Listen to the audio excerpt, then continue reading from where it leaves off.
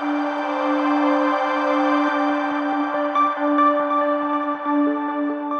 प्रदेश भाजपा कार्यालय में भाजपा अल्पसंख्यक मोर्चा की कार्य समिति की बैठक का आयोजन किया गया, जिसकी अध्यक्षता अल्पसंख्यक मोर्चा के राष्ट्रीय अध्यक्ष जमाल सिद्दीकी ने की।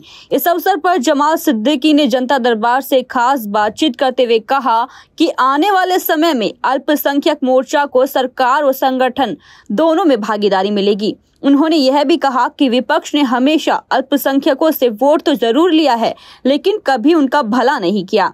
जमाल सिद्दीकी ने भाजपा से दूर होते अल्पसंख्यकों से अपील करते हुए कहा कि वे भाजपा के पास आए और उसकी रीति नीति को समझे। उन्होंने आश्वासन दिया कि जो काबिल होगा उसे भागीदारी भी मिलेगी। सिद्दीकी ने विपक्ष पर निशाना साधते हुए कहा कि कांग्रेस और अखिलेश यादव से मीडिया और अल्पसंख्यक पूछे कि उन्होंने अब तक कितने टिकट दिए हैं और आगामी उपचुनाव में कितने टिकट देंगे। सिद्दीकी ने यह भी उल्लेख किया कि महाराष्ट्र और तेलंगाना में एक भी मुसलमान एमएलसी नहीं बचा है, जिससे विपक्ष का अल्पसंख्यक समुदाय के प्रति रवैया स्पष्ट होता है। उन्होंने कहा कि अब समय आ गया है कि संपूर्ण अल्पसंख्यक समुदाय को सोच समझ कर फैसला लेना चाहिए कि कौन उन्हें धोखा दे रहा है और कौन उनका वास्तव में साथ दे रहा है? इस बैठक के माध्यम से भाजपा ने स्पष्ट संदेश दिया है कि वह अल्पसंख्यक समुदाय को सरकार और संगठन में उचित प्रतिनिधित्व देने के लिए प्रतिबद्ध है, जो कि भाजपा की समावेशी राजनीति की दिशा में एक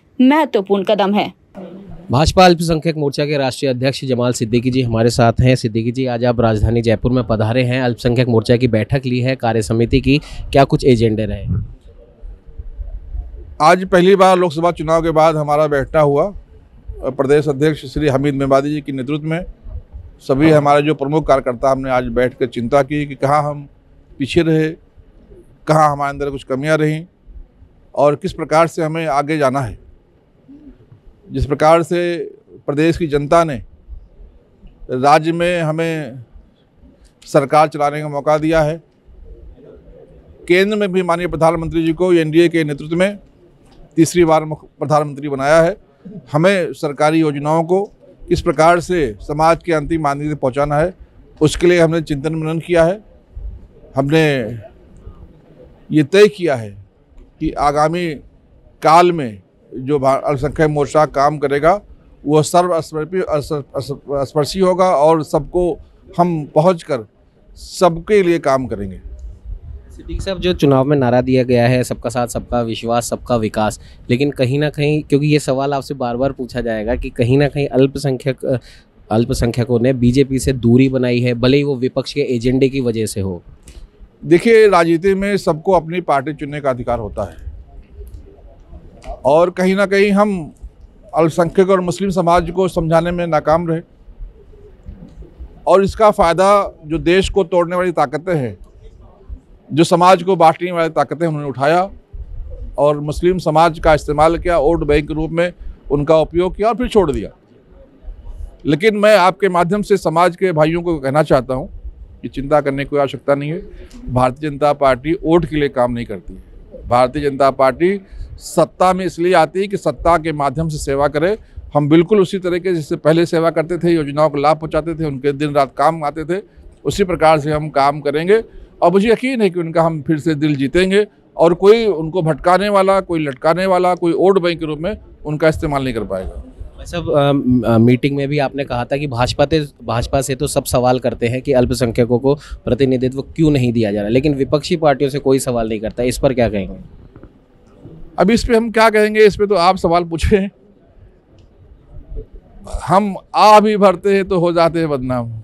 वो कत्ल भी करते तो चर्चा नहीं होती। आज देखें तेलंगाना में एक भी मुसलमान मंत्री नहीं है। आज आप महाराष्ट्र में देखें, मैं महाराष्ट्र से आता हूँ। सत्ताईस तारीख को विधान परिषद वहाँ पर मुस्लिम मुक्त हो जाएगा। एक भी सदस्य विधान परिषद का नहीं है, जबकि इंडिया अलायंस को 100 परसेंट लोगों ने वोटिंग किया।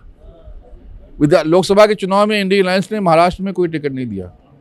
उत्तर प्रदेश में समाजवादी कहती है कि मुसलमानों को पार्टी है और अखिलेश यादव जब लोकसभा चुनकर आए नैतिक रूप से लोकसभा के अंदर आने के बाद जो नेता विपक्ष का पद था उनके पास, वो किसी मुसलमान को देना था, लेकिन नहीं देंगे।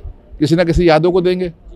लेकिन जिस प्रकार से लोगों ने मुसलमानों का उपयोग किया है, मुसलमानों को भ्रमित किया है मैं मुस्लिम भाइयों से भी अपील करूँगा और सभी से अपील करूँगा कि सिर्फ़ हमसे सवाल क्यों होता है? हमारे तो करीब भी आप कम आते हैं। आते भी तो डर डर के आते हैं। बार खुल के करीब आइए, आप भारतीय जनता पार्टी को मिलिए, पहचानिए, देखिए, आजमाइए। तो भारतीय जनता पार्टी ऐसी पार्टी है जो देश को जोड़ने का काम करती है। बाकी जो पार्टियाँ हैं, वोट बैंक के लिए देश को तोड़ने का काम कर रहे और ये सवाल सभी लोगों को, सभी पार्टियों से पूछना चाहिए। उत्तर प्रदेश के मुसलमानों को अखिलेश यादव से सवाल पूछना चाहिए कि तुम जब कुर्सी खाली के नेता विपक्ष का तो किसी मुस्लिम को क्यों नहीं मिला, जब मुस्लिम और यादव की पार्टी है? तो ये सवाल ज़रूर उनसे पूछना चाहिए और मुझे लगता है कि देश का मुसलमान पूछेगा। सब आने वाले निकट भविष्य में न सिर्फ़ राजस्थान में बल्कि देश में भी क्या हम देखेंगे कि अल्पसंख्यक समुदाय के लोगों को प्रतिनिधित्व मिलेगा? नहीं अल्पसंख्यक समुदाय को प्रतिनिधि है। अब आप लोकसभा का जो चुनाव हुआ अभी जो माननीय प्रधानमंत्री श्री नरेंद्र मोदी जी का मंत्रिमंडल बना उसमें पाँच अल्पसंख्यक मंत्री हैं। अल्पसंख्यक मतलब सिर्फ़ मुसलमान नहीं होता। उसमें जैन भी है, उसमें सिख भी है, उसमें ईसाई भी है, उसमें पारसी भी है, उसमें बौद्ध भी है। एक बार जब मंत्रिमंडल बना था तो उसमें तीन मुस्लिम थे। उसमें नजम हफ्तुल्ला थे, मुख्तार अब्बास नकवी थे, एम जे अकबर थे। इस बार दो सिख है, दो ईसाई है, एक बौद्ध। है तो ये झूठ लोग फैला रहे कि अल्पसंख्यकों को भागीदारी नहीं हाँ। इस बार मुस्लिम को ज़िम्मेदारी नहीं मिली है। इस बात का कहीं ना कहीं समाज में रोष भी है, पर ऐसा कुछ नहीं है। सरकारें जो बनती हैं वो समाज कल्याण के लिए बनती हैं। हमारा लक्ष्य समाज कल्याण है। हमारा लक्ष्य अंतिम पंक्ति में खड़ा हुआ जो व्यक्ति है उसका कल्याण हो और अंतिम पंक्ति में मुस्लिम है ये मैं मानने को तैयार हूँ और उसका कल्याण ज़रूर होगा। एक आखिरी सवाल ये है कि मई के महीने में आपको पाकिस्तान से धमकी मिली थी। ऐसी धमकियों को आप किस तरह लेते हैं? वो अपना काम करें हम अपना काम करेंगे। ज़िंदगी और मौत तो अल्लाह के हाथ में।